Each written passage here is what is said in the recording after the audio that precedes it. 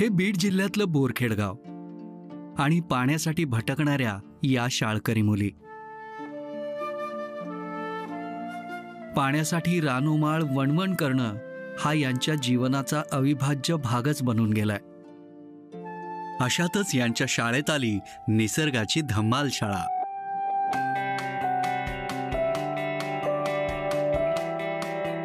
आता या मुलांना दुष्काळी परिस्थिती बदलण्याचा मार्ग दिसला होता. मुलांच्या हट्टामुळे आम्ही त्या दिवशी प्रभात फेरी घेतली. ज्या दिवशी आपलं शेवटचं सत्र होतं. आणि त्या प्रभात फेरीमुळं सगळ्यांना माहीत झालं की नेमकं काय आहे काहीतरी वेगळं आहे. यांनी टीम बनवून गावाला पाणीदार करण्याचा विडा उचलला.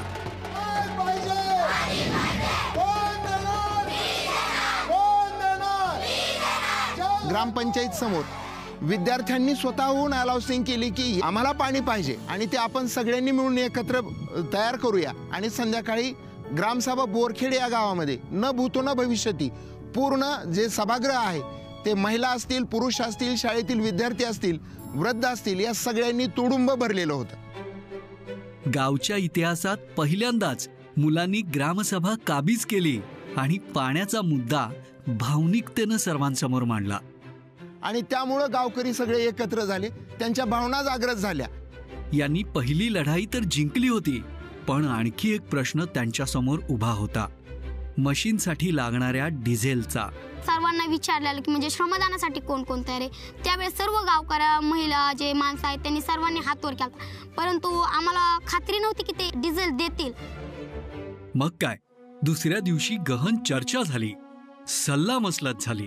ठरवला अजून म्हणजे निर्णय पक्का ठरवला की डिझेल म्हणजे डिझेलची सुरुवात पहिल्यांदा मी म्हणजे स्वतः कोण करणार तर गावासाठी जे काम आहे ते मी करणार. कुठे? तर इथेच करणार. आणि कधी? तर आत्ताच करणार. मग डिझेलच्या प्रश्नाचा फडशा पाडायला बत्तीस जण एकत्र आले. कुणी ठेवणीतल्या पर्समधून पैसे काढले कुणी गल्ला फोडला तर कुणी डब्बा उघडला. राख्या बांधलेल्या ना सर्वांना. मग त्याच्यात पैसे होते मी घरच्यांना नव्हते दिले माझ्या पशीच गल्ला आहे ना त्याच्यात टाकलेले. त्याच्यामुळे तो गल्ला फोडला आणि डिझेलला पैसे दिले. आणि मग बत्तीस मुलांनी एक एक लिटर डिझेल घेतला आणि यांची फौज गावातून धडाडत निघाली.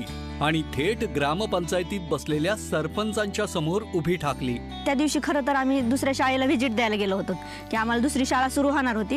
आणि मास्टर ट्रे- ट्रेनर जे आहेत दिलीप सर ते आमच्यासोबत होते गाडीमध्ये. ज्यावेळेस हे आम्हाला कळलं की बत्तीस लिटर डिझेल मुलांनी जमा केले त्यावेळेस आम्हाला त्या गाडीमधून असं वाटत होतं "अं, उतरून पळत जावं का काय? म्हणजे इतकं हे झालं होतं की मुलांना नेमकं कधी भेटावं.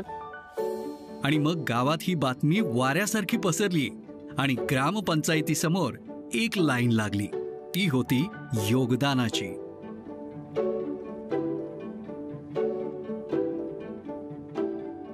त्यांच्या खाऊच्या पैशातून त्यांनी एक एक लिटर डे डिझेल आम्हाला दिलं आणून.